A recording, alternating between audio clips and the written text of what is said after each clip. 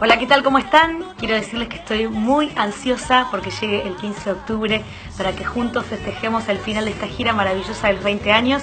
Los espero con el mate, con las ganas, allí en el Ferroclub de mi pueblo, en Arequito. A partir de las 20 horas más o menos va a ser el espectáculo y bueno, la idea es que todos puedan estar, así que la entrada va a ser libre y gratuita.